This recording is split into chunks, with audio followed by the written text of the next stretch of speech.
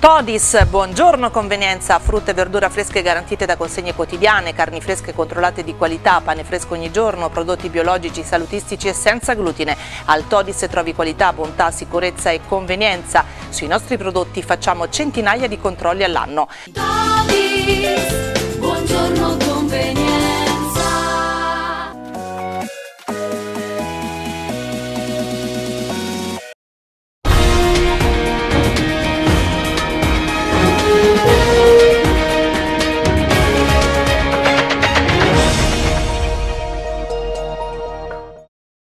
In un periodo nel quale, soprattutto sul fronte della salute, è diventata abitudine fornire cattive notizie, arriva invece una piccola ma importante inversione di tendenza riguardo proprio Civitavecchia. La forniscono il Ministero della Salute e il Centro Nazionale di Prevenzione e Controllo sulle Malattie e fa esplicito riferimento ai decessi e ai ricoveri in pronto soccorso diretta conseguenza delle ondate di caldo che hanno contraddistinto i mesi di giugno e luglio. Ebbene, Civitavecchia è una città che sul piano della salute ha meno risentito della situazione assolutamente anomala. Civitavecchia è una delle città nelle quali le terribili ondate di caldo di giugno e luglio hanno avuto minori ripercussioni sulla salute e soprattutto sulla mortalità.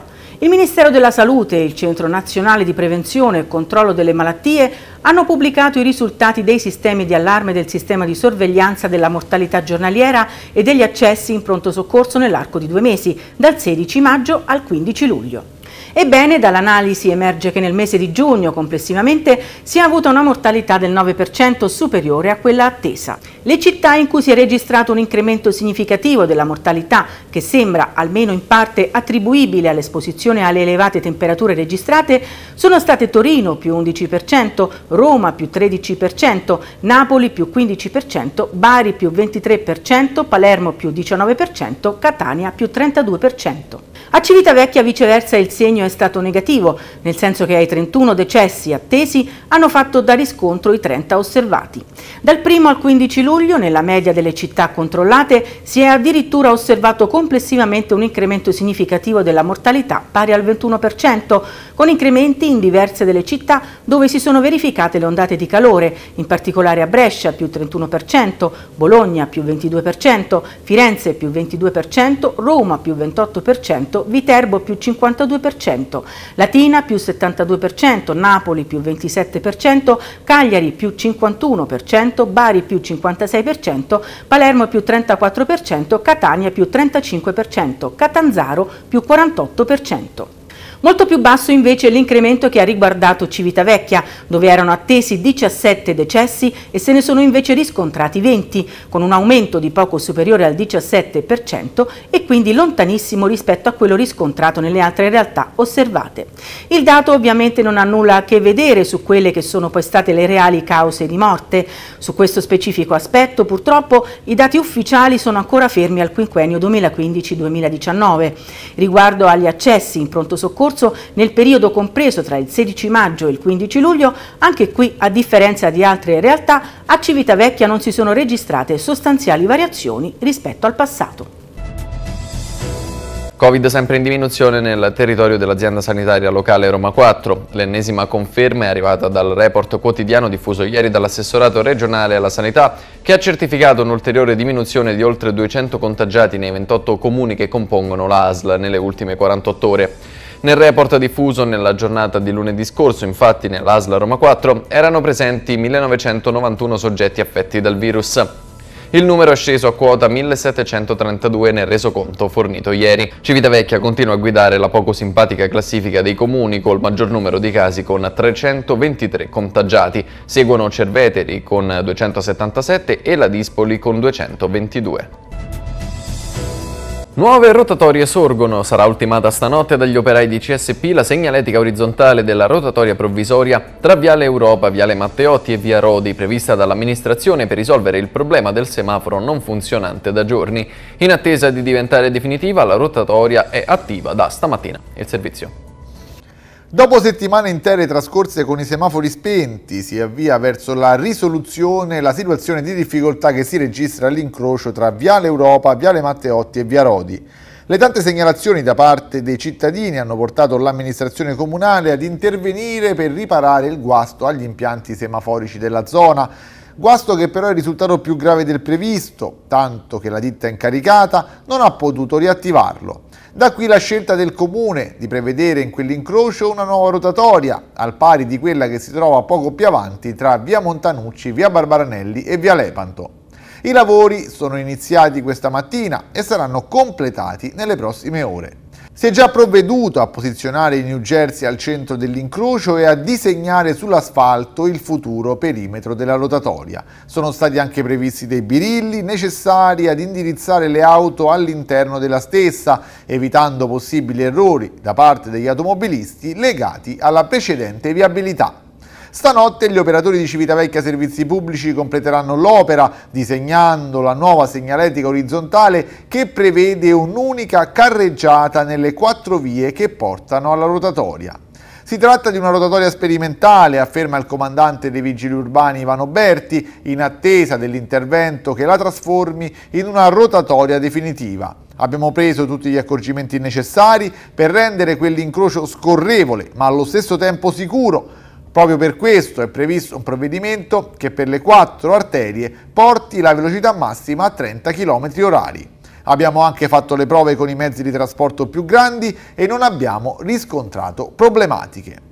Come già successo per le tante altre rotatorie che sono sorte in città, serviranno dei giorni di rodaggio per gli automobilisti prima di dimenticare le lunghe attese quando si era in fila davanti ad un semaforo rosso. Tornano d'attualità purtroppo gli incendi a Civitavecchia. I vigili del fuoco sono impegnati dalle 14.30 in via Licinio Refice a Borgata Aurelia per spegnere un vasto rogo di sterpaglie. Gli uomini della caserma Bonifazzi sono accorsi con l'autobotte per estinguere il fronte di fuoco che aveva lambito alcune abitazioni, tra cui una villetta in costruzione. I pompieri sono intervenuti per salvaguardare le abitazioni e sono da poco terminate le operazioni di bonifica. Non si è registrato nessun ferito. Primi download per l'applicazione per smartphone Mare Nostrum voluta dall'Osservatorio Ambientale per permettere ai cittadini di conoscere lo stato di salute del mare e delle spiagge di Tarquinia, Civitavecchia e Santa Marinella. A pochi giorni dall'uscita sull'App Store, un team di hostess gira per le spiagge per spiegare ai bagnanti come utilizzarla. Il servizio. Con qualche giorno di ritardo rispetto al previsto è possibile scaricare l'app Mare Nostrum voluta dall'Osservatorio Ambientale per permettere ai cittadini di conoscere lo stato di salute del mare e delle spiagge. Per far conoscere l'iniziativa da qualche giorno un team di hostess ha il compito di spiegare a quanti più bagnanti possibili sulle spiagge di Tarquinia, Civitavecchia e Santa Marinella come accedere o scaricare l'applicazione, il cui funzionamento è particolarmente immediato. L'app viene resa visibile in ogni stabilimento da un manifesto con la frase un tuffo dove il mare è più blu. Ed in tanti la stanno scaricando gratuitamente, dotandosi di uno strumento per sapere in tempo reale se e dove è consentito fare il bagno. L'applicazione è infatti in grado di geolocalizzare l'utente e di indicargli, oltre alla sua posizione, anche se il mare è balneabile o meno. A deciderlo è ovviamente il Presidente della Regione, in base ai dati dell'ARPA, in un decreto che ogni anno viene emanato a giugno, ma anche dai sindaci, che sempre sulla base dei rilievi di ARPA emanano eventuali ordinanze di divieto, per esempio per alghe tossiche, come già avvenuto nella spiaggia del Pirgo di Civitavecchia, o colibatteri. Tutti questi divieti sono mappati in tempo reale sull'app dell'osservatorio sia quando vengono emanati sia quando vengono revocati. Non solo. Ai cittadini, afferma Ivano Iacomelli, presidente del CDA dell'Osservatorio Ambientale, chiediamo di aiutarci a difendere il mare, segnalandoci sull'app anomalie o sospetti di inquinamento, fotografandoli e caricando le immagini direttamente sull'applicazione. La segnalazione geolocalizzata sarà inviata all'osservatorio ambientale che dopo una prima sommaria analisi provvederà ad inoltrarla all'autorità competente, cioè al comune interessato e alla capitaneria di porto. Contiamo su un'iniziativa come questa, concludono Pietro Tidei, presidente del consorzio dei comuni che fanno parte dell'organismo, e Ivano Iacomelli, per fare crescere un'identità ed un sentire condiviso nelle nostre comunità sui temi dell'ambiente e della sostenibilità ed anche il fatto che la prima iniziativa dell'osservatorio, dopo il lungo letargo forzato degli anni scorsi, parli di mare, dà il segno di come oggi l'osservatorio sia un organismo concreto. Cinque punti per rilanciare Civitavecchia e migliorare la vita delle persone, sui quali chiamare al confronto e al dibattito senza alcuna primogenitura le forze politiche e sociali cittadine. Li ha elaborati il circolo locale del PD, al primo posto un ruolo importante nella cosiddetta transizione energetica, con l'obiettivo dichiarato che si realizzi l'impianto eolico offshore comprensivo dell'hub nel quale realizzare le componenti e un impegno in direzione della logistica.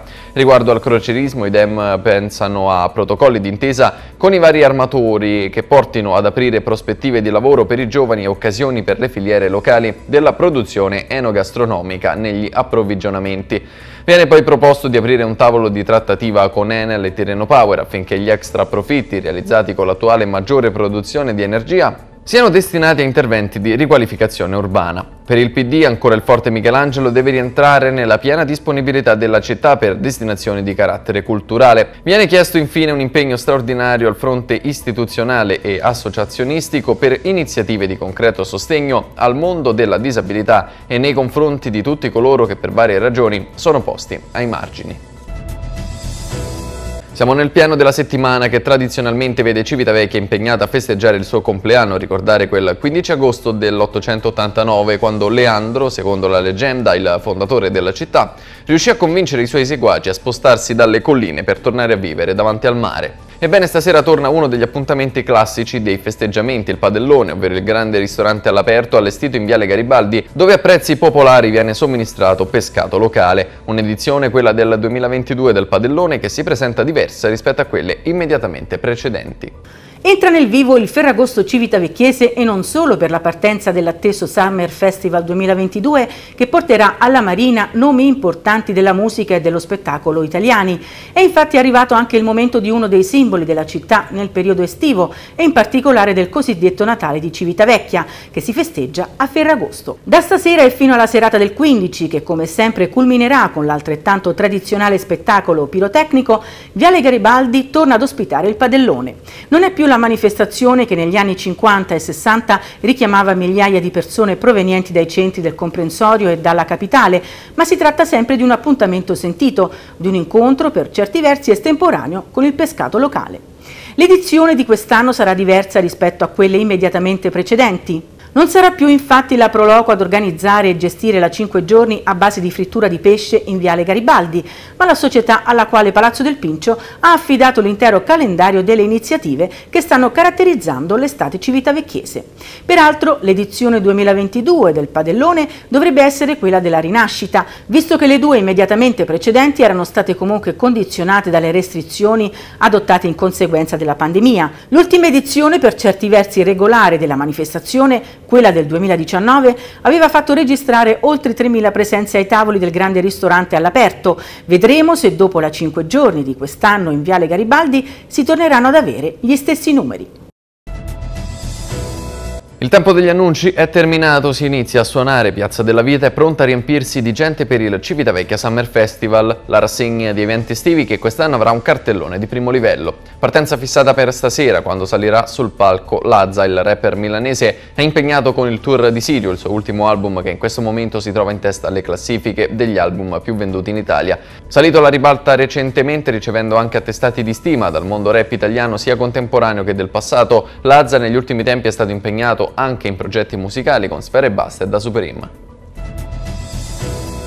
Nei giorni 16, 20, 22, 23, 25 e 26 agosto, in concomitanza con gli eventi organizzati per il Summer Festival, il servizio di trasporto pubblico subirà le seguenti modifiche. Linea B dalla corsa delle 19.10, partenza da piazza Vittorio Emanuele per proseguire per il normale percorso sino a via Terme di Traiano, per poi percorrere via Isonzo, via 16 settembre, piazza Calamata e terminare in piazza Vittorio Emanuele. Linea C dalla corsa delle ore 18.50, partenza partenza da stazione, normale percorso sino a Viale Garibaldi, per poi proseguire su Via Crispi, Via Roma, Via Isonzo e terminare a Piazza Vittorio Emanuele. Per le successive corse, partenza da Piazza Vittorio Emanuele, Linea D dalle ore 19, spostamento del capolinea della stazione in piazza Vittorio Emanuele. Linea F dalle ore 19, dopo via Termi di Traiano, percorrerà via Roma, via Crispi, via Le Garibaldi per poi riprendere il normale percorso. Cambio di programma nella serie di amichevoli del Civitavecchia. La sfida prevista per domani pomeriggio al Tamagnini contro la Tivoli è stata annullata. I nerazzurri comunque non rimarranno a bocca asciutta perché ci sarà lo stesso un impegno probante per testare la condizione e verificare quanto svolto nelle prime due settimane di allenamenti. Domani alle 18 la squadra allenata da Alessio Bifini sarà al Desideri per far visita al Fiumicino, squadra che parteciperà al prossimo campionato di promozione. Intanto si presenta il nuovo arrivato Marco Zambrini che ascoltiamo in questa intervista. Marco Aurelio Zambrini, per gli amici possiamo dire tranquillamente Marco, nuovo colpo per quanto riguarda questo Civecchia, già conosci un pochino l'ambiente visto che qualche giorno ti alleni con la squadra, come mai hai scelto questa squadra? Ho scelto questa squadra perché comunque conosco alcuni ragazzi che già stavano qui l'anno scorso, mi hanno consigliato questa società perché è una società seria, una società che punta eh, a vincere il campionato e penso che comunque abbiamo tutte le, le credenziali e tutti i giocatori possibili per vincere il campionato. L'obiettivo, il desiderio ovviamente è quello di andare in Serie D, categoria che conosci, visto che eh, l'hai frequentata con il Monterosi, anche con il Real Monterondo Scalo, per cui servirà una CECA che possa superare tutte le varie avversarie in questo campionato. Certo, noi comunque affrontiamo la partita una alla volta e pensiamo comunque sempre alla vittoria. Poi quello che comunque ci aspetta nel, nel, percorso di questa stagione lo scopriremo sempre comunque vivendolo e iniziando la stagione, quindi noi comunque dalla prima partita di campionato pensiamo sempre a vincere, poi quello che succede succede. Cercando un po' di informazioni, quello che ho visto sei un giocatore molto duttile che può giocare sull'esterno, soprattutto offensivo ma anche difensivo da quello che ho capito, anche poi eh, andare a occupare la casella di terzino in certi momenti? Sì, comunque ne, nelle scorse stagioni ho fatto anche il quinto, il quarto e comunque l'esterno, il trequartista e il centrocampista, comunque in questi ultimi anni mi sono sempre comunque mosso dentro le posizioni e mi trovo a mio agio in quasi tutte le posizioni, quindi penso sia un punto a favore. Ma davanti c'è una bella lotta in attacco quest'anno? Sì, quest'anno sì, abbiamo Manu e Gigi che sono due grandi giocatori e puntiamo molto su di loro. E a Monterosso hai anche vinto un campionato di Serie D, tra l'altro con un gol decisivo che hai fatto a Santa Maria Capovedere contro il Gladiator, segnando in contropiede al novantesimo, per cui speriamo di vedere qualche gol eh, da parte tua anche qui a Civitavecchia. Sì, sì, quello è stato un gol molto importante, soprattutto cioè, per me e anche per la squadra e spero che magari quest'anno ne faccio un po' di più.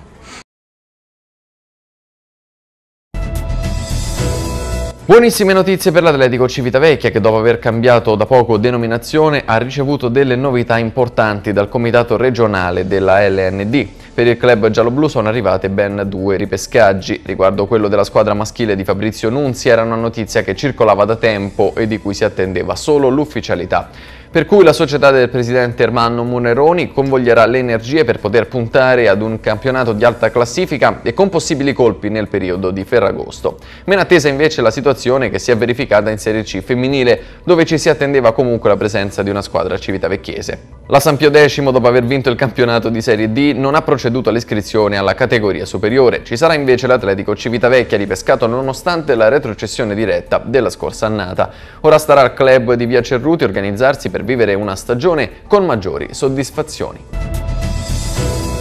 Dal 29 agosto il CRC si presenterà al campo Moretti della Marta per iniziare la preparazione atletica in vista del prossimo campionato di Serie A che prenderà il via ad inizio ottobre. A guidare il gruppo allenato da Mauro Tronca Umberto Denisi sarà il preparatore atletico Giuseppe Diana. Nelle prime due settimane ci saranno quattro allenamenti alla settimana, spiega Diana, dopodiché si scenderà presumibilmente a tre. Nelle prime due settimane ci si dedicherà a mettere la squadra sotto stress sia dal punto di vista fisico che mentale, fattori fondamentali per lo sviluppo di un approccio positivo in un campionato duro e lungo. Fortunatamente i ragazzi hanno avuto un continuum di allenamenti da giugno al 15 agosto attraverso tre microcicli di lavoro con programmazione settimanale basata su cinque allenamenti, tre di palestra e due atletici con differenziazione dei carichi di lavoro.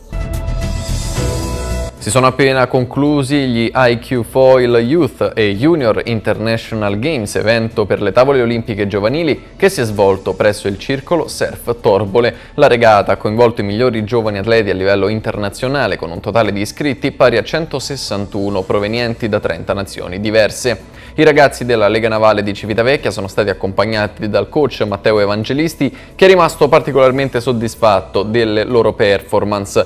Gli atleti locali, ad eccezione di Matteo Matteo Molentino erano alla loro prima esperienza a livello internazionale sul foil e proprio Molentino, a detta di tecnici, ha dimostrato di possedere le capacità per rientrare nei primi 15 a livello internazionale. La Civitavecchia Volley Academy debutta con un torneo in memoria della piccola Carola Stortini. È stato il primo evento del Polo Arancio-Nero, un evento fortemente voluto e portato avanti con grande emozione da tutto lo staff tecnico e dirigenziale. Presso la Beach Arena questo weekend è andata in scena una due giorni di fuoco. I numeri, 121 atleti, 4 categorie, 72 partite. Tanta gioia, emozione e allegria nel ricordo di Carola Stortini, la piccola pallavolista venuta a mancare solo qualche mese fa e che aveva vestito entrambi i colori. Vincitori per la la categoria Under 14 le Fantastiche 4, Under 18 la Gang che fa Bang, Open Arancio, la Famiglia e infine Open Nero, Piamo se la ride. Vi invitiamo a seguirci anche sui nostri profili social, Facebook, YouTube, Instagram. Inoltre vi ricordo che l'appuntamento con l'informazione è anche sul sito www.trcgiornale.it.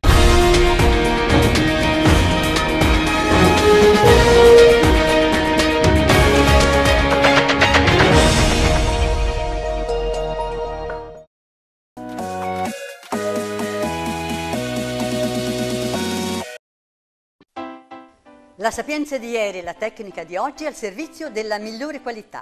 Carni Diego e Barbara dal 1992, carni di produzione propria.